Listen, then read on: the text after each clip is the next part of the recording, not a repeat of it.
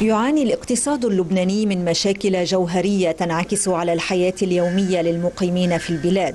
فلبنان يعد من بين الدول الأكثر مديونية في العالم ويقدر حجم دينه العام ب 84 مليار دولار.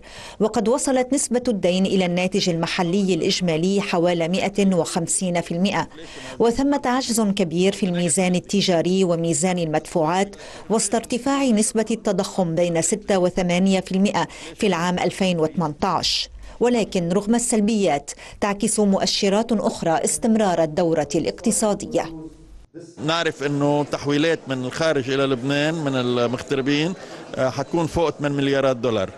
آه، نعرف إنه الإشغال الفندقي بلبنان رح يكون حوالي 65% آه، نعرف إنه الودائع بالمصارف زادت حوالي 4% آه، فهيدي جزء من المؤشرات اللي آه، بتبين قديش آه، يعني الحركة موجودة بالرغم من الصعوبات. تجمع دراسات دولية ومحلية على تجاوز البطالة في لبنان نسبة 30% خصوصا بين الشباب. إنما في المقابل يبرز عدد كبير من هؤلاء في قطاع التكنولوجيا والإبداع الذي خطى خطوات كبيرة في السنوات القليلة الماضية. ويقول مختصون إنه أتاح أكثر من ألفي فرصة عمل في السنتين الأخيرتين.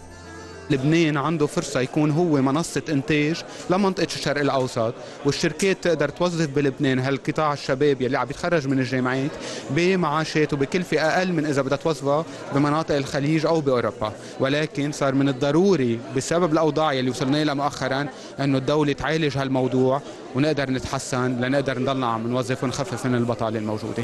ابتكارات وأعمال جديدة يحفل بها لبنان في انتظار تطبيق ما دعا إليه البنك الدولي من إصلاحات هيكلية وخطط مالية تزيل عدم اليقين الذي يحيط بآفاق الاقتصاد.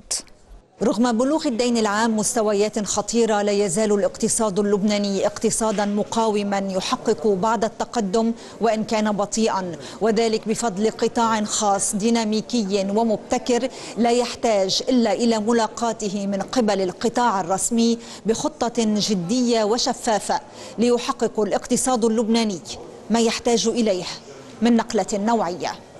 كلوديا أبي حنا الغد بيروت.